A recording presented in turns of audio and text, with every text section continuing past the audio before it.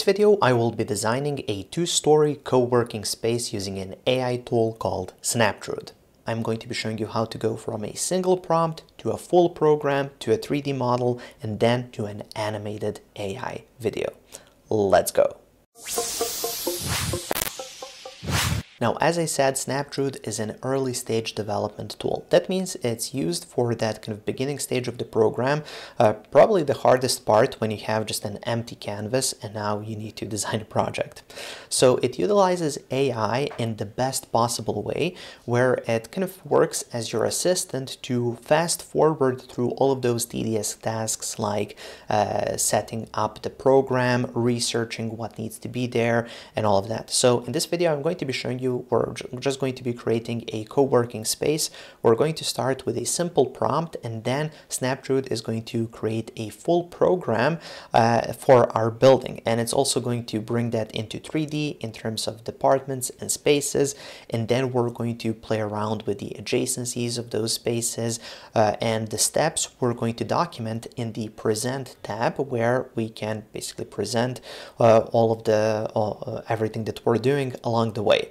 Uh, in the end, once we calculate the adjacencies, set up kind of our building outline and design, we're going to be utilizing AI rendering engines in order to create a static rendering and also a full animated video just from a single prompt. Now, if you would like to check out Snaptrude to follow along, the link is up in the cards above and then also down in the description of this video. In full disclosure, this is a sponsored video. So now, without any further ado, let's jump straight into Snaptrude. And here we are in Snaptrude. So I'm logged into my account and now to get us started here from the dashboard, we can just click on new project and then we can start a new project. Now this all starts with the help of AI. So I need to give it a prompt explaining what type of project this is going to be. And then uh, Snaptrude is going to help me lay it out. So I'm going to say design a two-story co-working space with separate offices, uh, meeting rooms, kitchen, etc. And now uh, here we have some options that we can check. I'm just going to leave it as is. For units, I'm going to stick with meters. Uh, then we can attach an RFP if we want. We can load in a site. Uh, we can pick is this design or research and so on. So for now, I'm just going to leave it as is and click here to send. And now we need to specify the uh, location or the site for our project. So I'm going to go to select specific site. Now it's going to bring me into my own town uh, where Balkan Architect is located.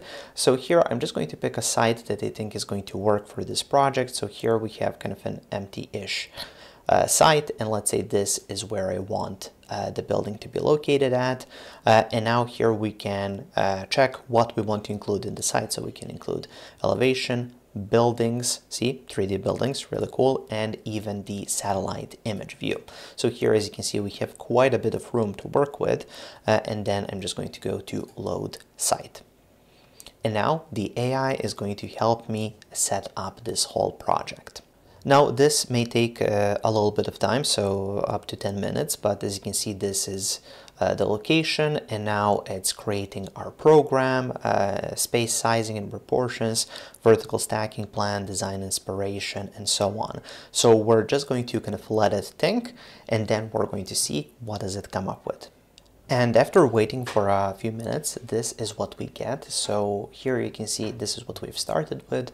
We've picked our site and then uh, the program was created. So here we can see the full program. Later on, I'm going to be expanding that. Then we have the key assumptions, which is the site area uh, and uh, just additional information about the site. Uh, then we have the references and so on and so forth. So it's telling us not only what it did, but also what it used kind of as reference to make those decisions. Uh, here we have the space sizing and proportions, which is also something that we're going to be exploring later on. And we have the program uh, diagrams, vertical stacking plan, uh, department diagrams, and we have some AI inspiration. So this is what it kind of figured out uh, how this could potentially look, which is nice to kind of have some idea on that as well. And yeah, that's pretty much it. Now we can uh, uh, ask it to perhaps change something or, or something like that or do it again perhaps. But here I'm quite happy with what we have. More importantly I'm, I'm looking here at the uh, at this uh, kind of working space. And here uh, you can see that uh, we have our site which is here with all of the 3D buildings uh, around. But more importantly, here we have the, the, the uh, departments and here we have the spaces. So what it does, it lays out the departments first and then the spaces off to the side. So the idea is you can uh, kind of create your basic layout uh, using the departments to figure out the adjacencies and all of that. And then you basically stack in these uh, these spaces inside of that. So now I'm going to switch here to the edit mode uh, and that's going to bring us to uh, another environment here. As you can see, this is what we have. So this is the site and now we're in 2D, we're on plan one and these are the departments and then these are all of the spaces. You can see it kind of correlates with the size. So this is the area of the open co-working space and then this is what that kind of gets broken down into. Okay, so having all of this here, now let's explore the program because I think it's really important to see uh, the program first. And this is our program. So you can see it's in this table view. We can zoom in if we want. Uh, so we have the yeah, we pretty much have everything that we need. So first is the we have the, the reception deck and uh, the main lobby and so on. So it gives us all of the information in terms of the area achieved, uh, the room count, the department name, and so on. We can expand on this as well. So here we have some uh, design fields. So it's giving us the uh, the area per room. It's giving us the room count, the story, the height of the room, the width of the room, length, ratio, and so on and so forth. So you can see all of this. You can edit the areas, you can edit the rooms, you can add new ones if you want. So it's basically uh, we have the all of the tools that we need to work in a in a table like this or a spreadsheet like this. And yeah, we can explore what it did, how it set all of this up, and we can make changes if we want. Now, I don't want to make any changes, so I'm just going to go back here to the design area. Now, I'm also going to show you the present uh, tab. I'm just going to close this up. Here we can see that it created a few of these sheets. So we have the renderings or the AI renderings below, and then on top here we have sheets that have uh, the diagrams. So this is the diagram of the co-working uh, desk depart or the co-working department, and then uh, this is how it laid it out. So it has this dedicated desk zone, it has the open co-working hot desk zone, it has the open co-working hot desk zone or just another one. And then here we have the focus desk cluster and these are the uh, touchdown phone booths. So yeah, it has that as well. So it kind of figured out what is a co-working space and what it needs to have and it laid it out, which is really nice. Of course, you can change this if you want uh, and you're most likely going to be changing this, but it kind of does the research part for you. You don't have to start from scratch, you start from something and then you edit it. Now I'm just going to go back to the design and now let's start putting all of this together into something that looks like a building. So I'm first going to take all of these uh, spaces and I'm just going to move them a little bit out of the way. And then for the departments, I want to uh, figure out the adjacencies. So here we have the area analysis. Next to that is the adjacency tab. So what we can do is we can just select all of these, go to adjacencies or adjacency, and then compute. So it's now going to compute all of the adjacencies. So basically uh, what's connected with what, what needs to kind of be prioritized or closer to uh, other department and so on. And now, as you can see, it has calculated all of the adjacencies. We have the direct, indirect, and restricted. So that's going to be visualized with these lines. Uh, now I'm happy with this. Now I just want to rearrange these departments in order to get the best possible uh, layout for all of these departments. And this is what we get. So as you can see, it kind of spread them uh, out and uh, laid everything out here. And I'm actually quite happy with how this looks. Now, I actually want to present this uh, on, a, on a sheet. So what I'll do is I'm just going to select this site, right click and hide the site. And then I'll select these spaces, right click and hide those as well. Uh, and now let's move to the present uh, panel. And here, uh, let's zoom out a little bit and let's create a new sheet, for example. So I'll just click on new sheet and it's going to create a new sheet. And uh, for this sheet, let's go to views, uh, plan one, and just drag it over. And as you can see, it's just going to drag that over. Now you can hold the control key and then you can kind of crop that view just like this. There we go. Okay, uh, I'll change the scale to something a bit larger. So let's see. Okay, this might be a bit too large. Let's do 250. Okay, it's starting to look nice, but we might need uh, a larger sheet. So I'm going to go with this one and then see, oops, that's smaller. let's try, yeah, okay. Now it fits. So now we can select the diagram, move it, a little bit better there. Okay, so now this uh, shows all of the departments, but this isn't really a diagram view. It's more like uh, just a set of diagrams. These are actually in 3D in our design space. So what I'll do is I'm just going to switch this to bubble diagram, and now it does actually look uh, like a diagram. So we can see all of these departments, and now we can save this uh, view. So the whole idea is while we're working here in the design tab, uh, we can always uh, go to the present tab and just kind of drag things over and document our journey going from the start all the way to the finished project. And uh, of course, this is something that we can use for presentation purposes later on. So now once we have all of these departments kind of in, uh, in place, let's go to adjacencies one more time and click on pack. This is now going to kind of pack it together because, well, it makes most sense to uh, have all of these kind of stacked together. Uh, we're definitely not going to have hallways this large.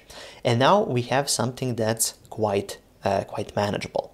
Uh, now, of course, we can switch to uh, plan two, and I'm just going to repeat this entire process of, uh, of doing the uh, computing the adjacencies, arranging them, and then packing them. Now, I'm just going to move this one uh, closer in. Perhaps, let's see, where can we where can we place it for it to make sense. Now, of course, you're not really stuck with uh, the design that you get. You can, can play around with this and set it up however you like. So for example, here, if I'm just kind of moving things around, if I think that perhaps this should go down, I can do that. So I can rearrange this however I like, uh, but uh, it's nice to have kind of a, a computed uh, solution that, that we can rely on to give us kind of the, the best results. Uh, and now I'm just going to place this here, just like that, for example, and now we have this completed. Now I can go to the 3D view and this is what we have in the 3D view. Now of course we can continue to model here and we can continue to, to make changes. So for example I can use the very intuitive and powerful push-pull tool. P is the shortcut. So for example here if I want to uh, push this out a little bit, I can do that. If I want to pull this in a little bit, I can do that. I can even extend it uh, vertically, just like that. Also, we can use the push-pull in conjunction with split face.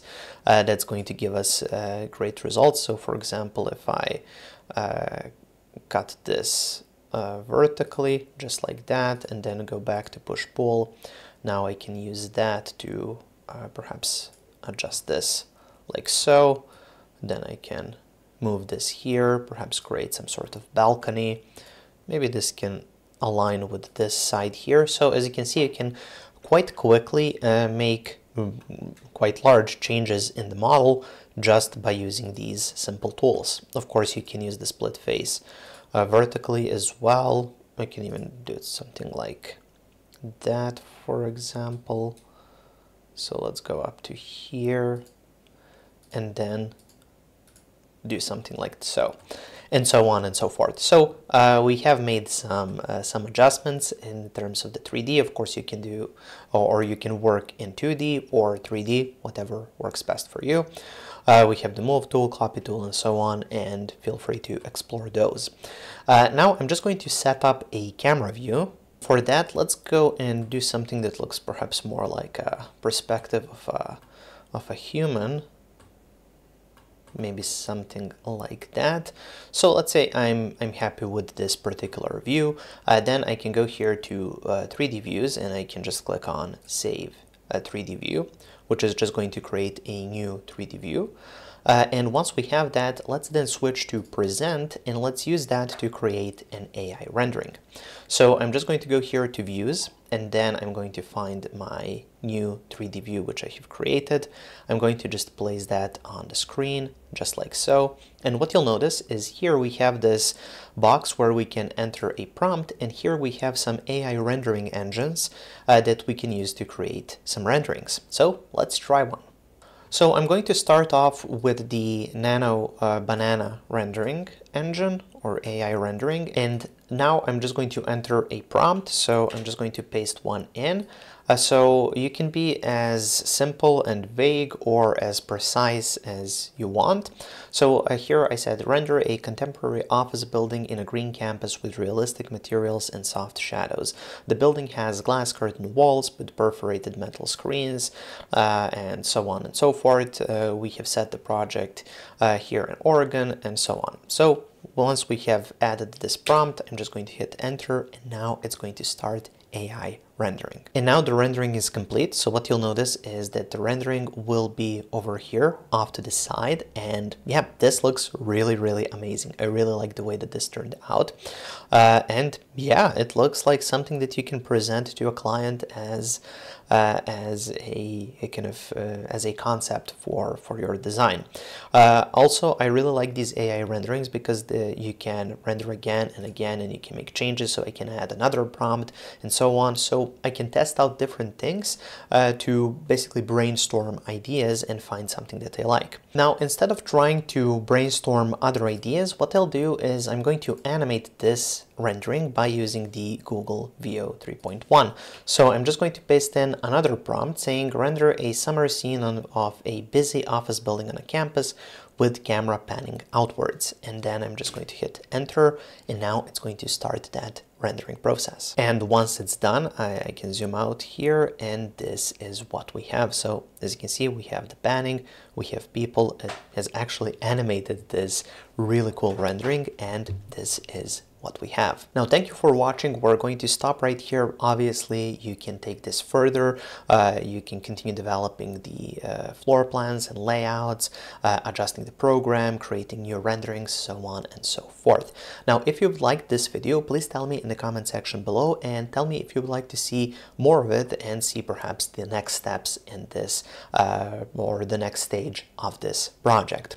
Uh, now, if you'd like to check out uh, the link is going to be up in the cards above and also down in the description of this video. Now, if you're a student, I've got great news for you because Snaptrude now offers a completely free student plan. Uh, click on the link in the description of this video to check it out and also up in the cards above. Thank you for watching, guys. Make sure to check out my website, balkanarchitect.com, for more uh, Revit courses. Uh, there I have over 120 hours of content, uh, and I'm adding more each week. Make sure to subscribe uh, for more videos, and also I've added a video over there that might interest you as well.